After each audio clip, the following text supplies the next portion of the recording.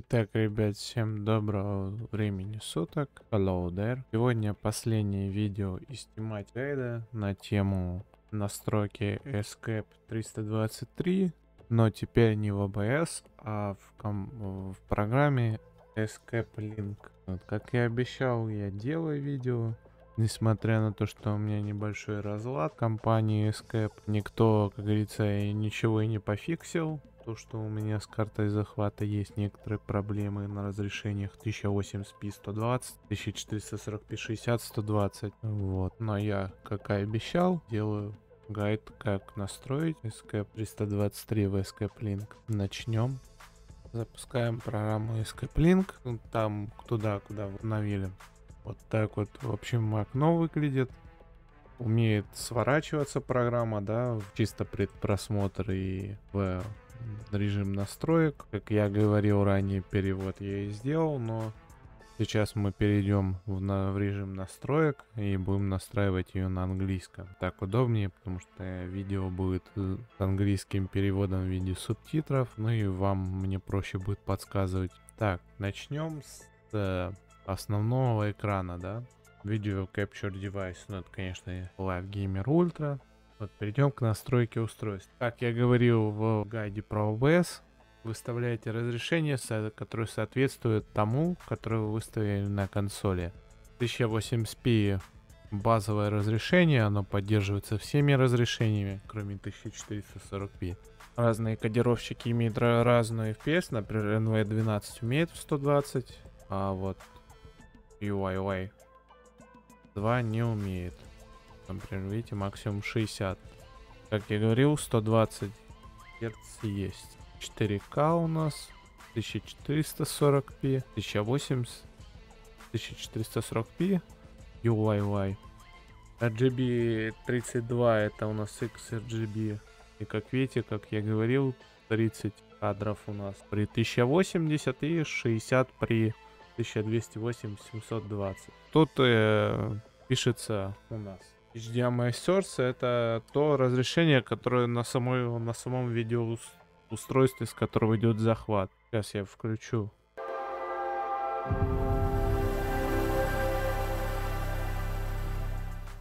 Как видите, 1080p, 120 Гц, 12-битное изображение без HDR. Enable HDR, я не знаю, почему ползунок не работает, но если включить на самом устройстве HDR, то работает. Так, насчет этого все рассказал.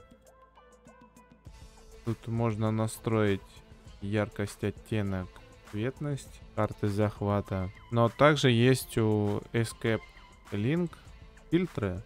Фильтры это у нас размытие, цветовое, эквалайзер, повороты, выбор цвета и хромакей. Из таких фильтров только Box Blur, но он очень сильно мылит. Так, с вот этим пунктом разобрались. Этот пункт с добавлением звука аналогичен тому, который у нас был настройкой в OBS.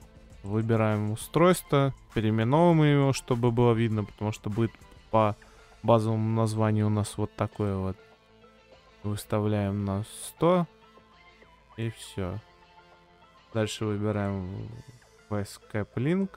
И все. Так, тут у нас записи. Записи у нас э, можно делать по расписанию, можно по кнопке, можно делать скриншоты, можно открыть всех записанных видео, можно захватывать GIF изображение. Дальше я вам покажу, как его настроить. Можно сделать так в локальной сети стрим, но он очень плохо работает. Я покажу позже, как настроить. Тут у нас громкость. Вот как раз этот VBS.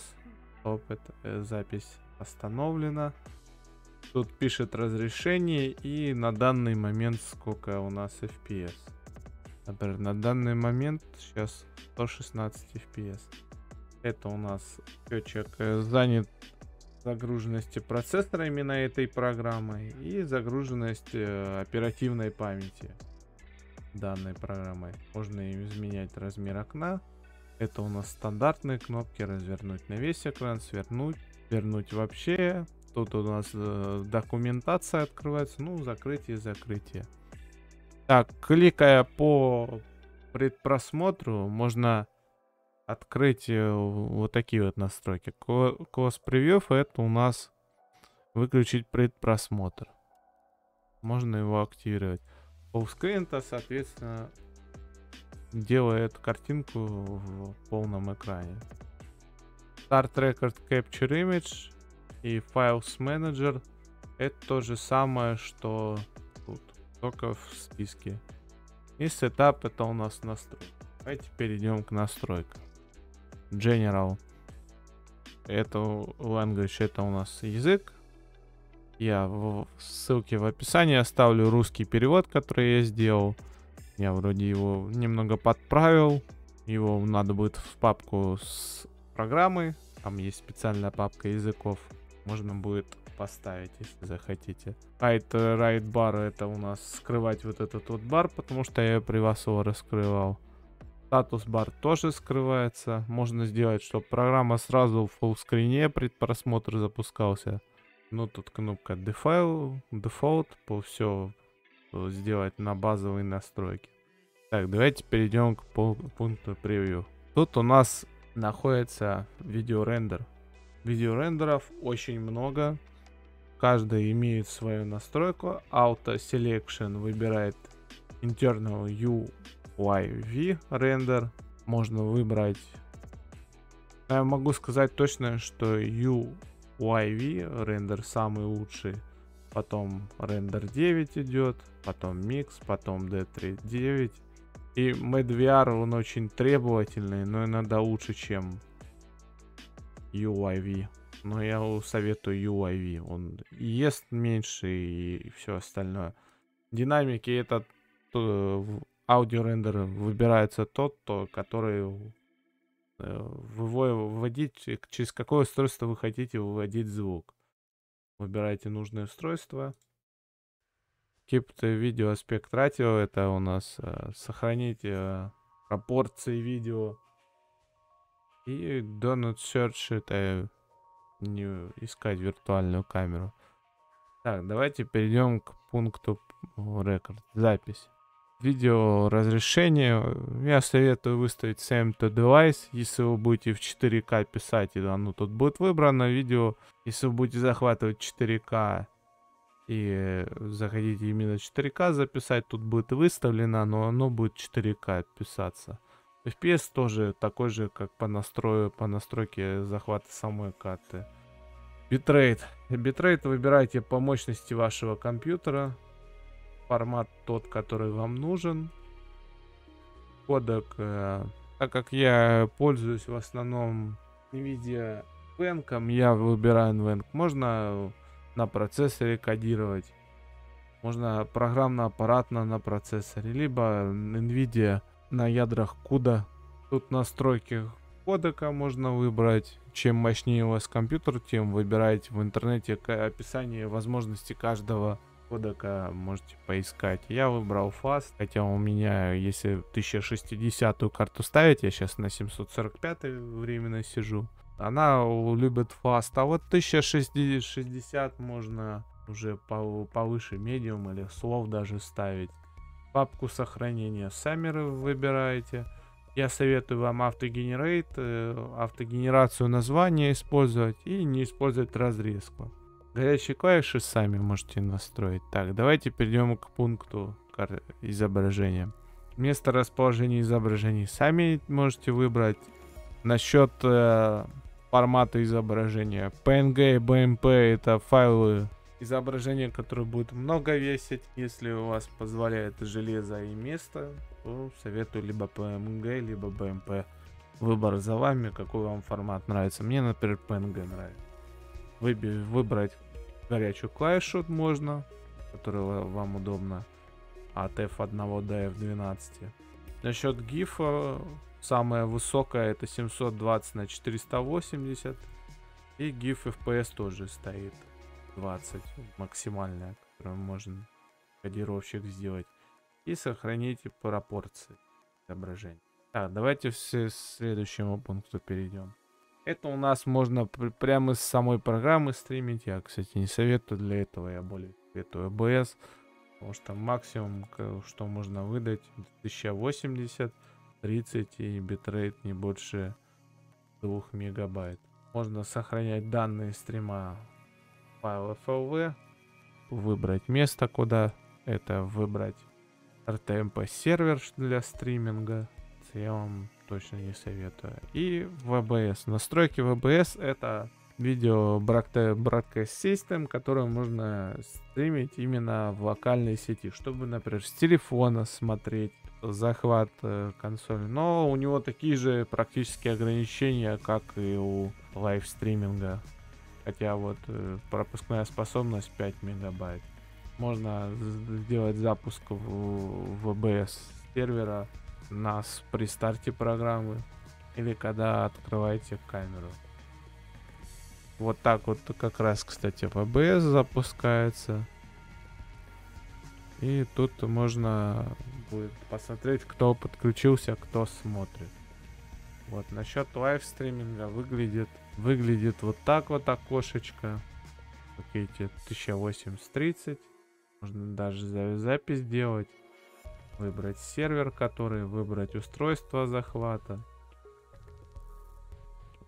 Как-то вот так вот. Программа выглядит. Я ее использую, когда вне стримов мне надо пользоваться консолью Xbox Series S, например, игры скачать, там, играть с кем-то, я ее использую. Хотя вот, например, раска- написано в описании в программы то, что 4К видео и 1440p или 120 Гц видео программа будет захватывать нормально только на видеокартах старше 1060 или RX 500 или 4 400 серии.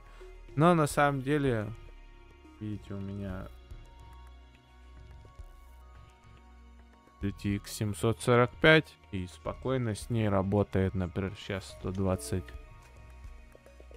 120 FPS спокойно захватывается. Но иногда при нагрузке не хватает. Но так захват, запись, кстати, нормально. Если записывать, то записывать нормально идет. Так что требования на сайте там такие. Мне кажется, и на 900 серии, и на 700 более мощнее, чем моя 745 можно и спокойно все делать. Это просто такие требования от балды написанные. Возможно, только эти устройства под рукой были. Вот, но я вроде все сказал, как и обещал. Жалко, конечно, что Escape никак не решает проблемы с захватом на не вот этих вот нескольких разрешениях. И точки у меня как были, так и есть. Но не особо этими разрешениями не пользуюсь. 120 Гц я вот только пару игр прошел. А так в основном все игры это только у онлайн 120 Гц, у некоторых сингловых. А так в основное разре- разрешение и герцовка у игр это либо 1440-60, либо 1080-60, а Series S в 1080-60 более производительная, чем в 1440p. Про 4К молчу. Программа неплохая, я ожидал намного худшего результата. Надеюсь, обновлять будут, надеюсь, про перевод не забудут. Вот и подошла тема к концу. Всем спасибо за просмотр за комментарии, за помощь с переводом. Это, вероятнее всего, последний гайд в этом году. Я очень много выпустил гайдов за последнее время. И, как говорится, немного устал мухожук.